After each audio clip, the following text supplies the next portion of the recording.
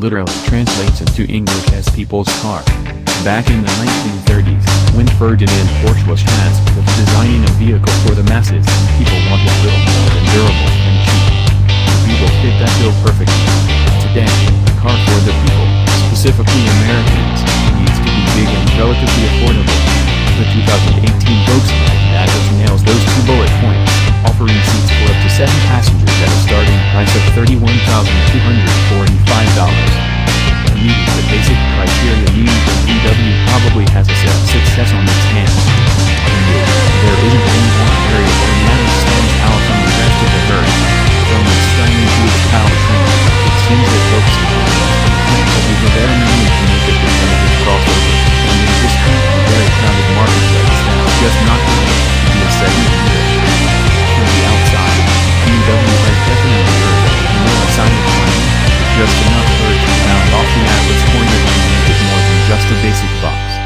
The slab sides are so massive that the optional 20-inch wheels look almost a size too small.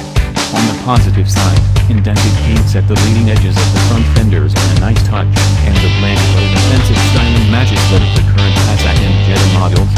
Clearly, this straight-line approach is what Volkswagen stylists think Americans want. The pumped-up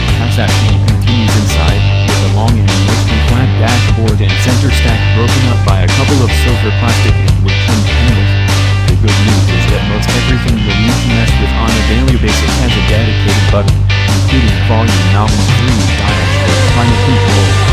But there's bad news for those who have more premium materials.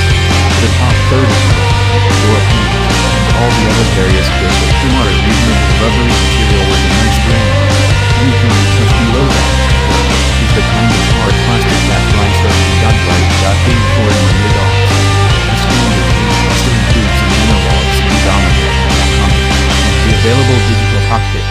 those with a 12.3-inch LCD screen but only comes on the top-shelf SEL premium grade.